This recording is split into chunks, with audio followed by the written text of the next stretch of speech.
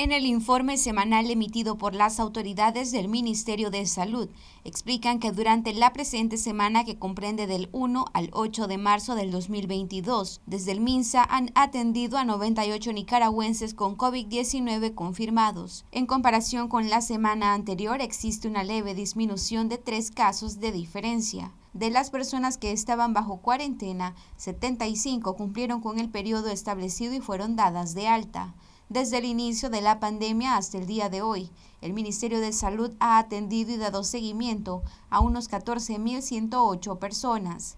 Las personas que han estado en seguimiento responsable por COVID-19 con frecuencia han tenido padecimientos asociados a la hipertensión arterial, diabetes mellitus, obesidad, enfermedades cardíacas, síndrome de inmunodeficiencia, así como insuficiencia renal crónica, antecedentes de accidentes cerebrovasculares, tuberculosis pulmonar y enfermedades pulmonares crónicas.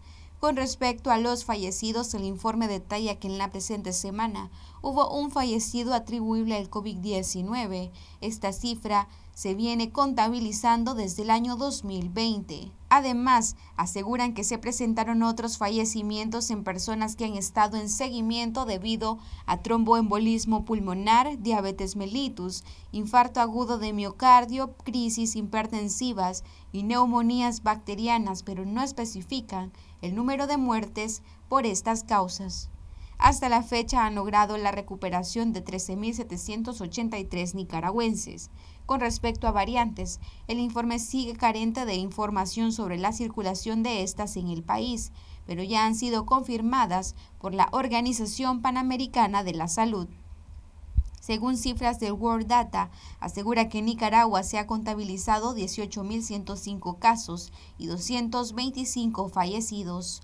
Para Noticias 12, Gabriela Solórzano.